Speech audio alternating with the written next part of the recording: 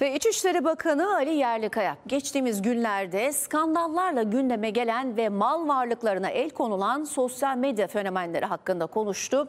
Tam 92 milyar liralık mal varlığına el konulduğunu açıklayan Yerlikaya'nın mesajları ise dikkat çekiciydi. Zenginiz, görgüsüzüz zenginiz. Benden bir tane daha yok.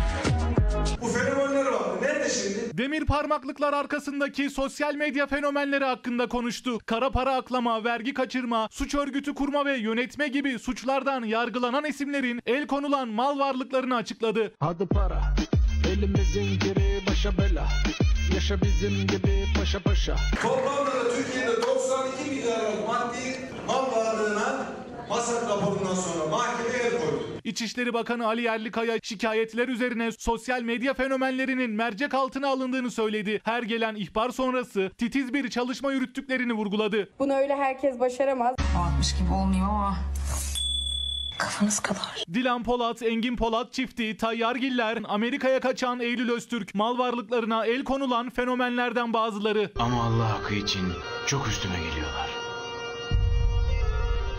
Herkes üstüme üstüme geliyor. Hadi. Biz kimsenin malında, mülkünde onu da nasıl değerlendiriyor ve nasıl görünüm yapıyor bunlar derdimiz yok.